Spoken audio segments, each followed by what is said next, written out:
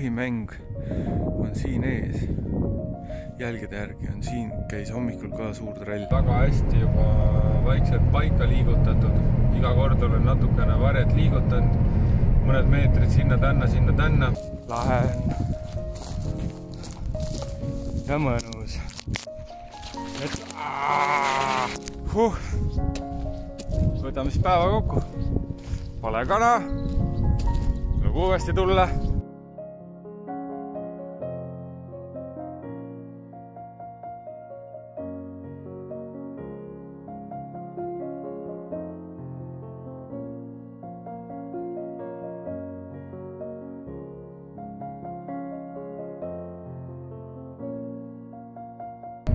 Sõidame siis jälle järjekordselt Edrevaresse.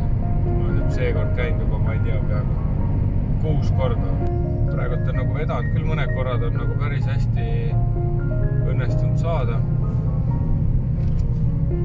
pilte, aga ma ütlen, et see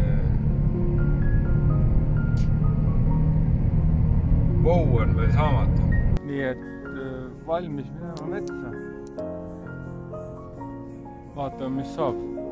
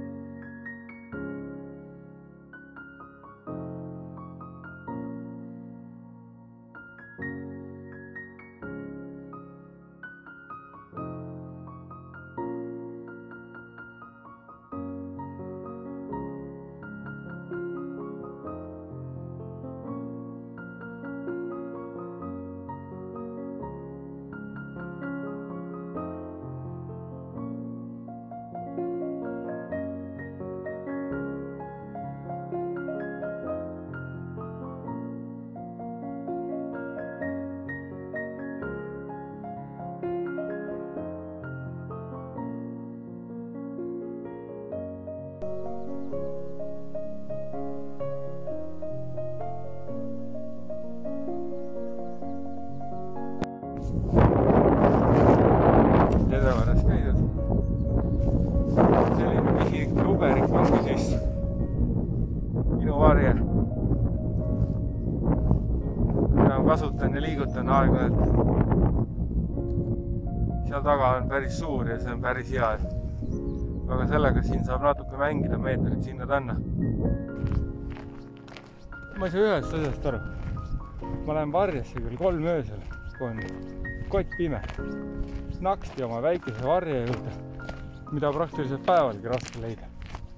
ja siis, kui on valge, et tuled ära, siis paned niimoodi puusse. et kus mu auto on? pikk maa sinna minna on.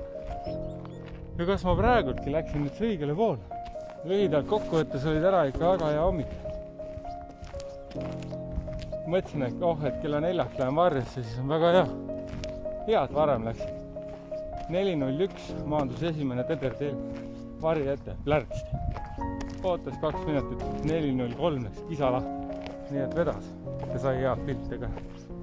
kõige tähtsam.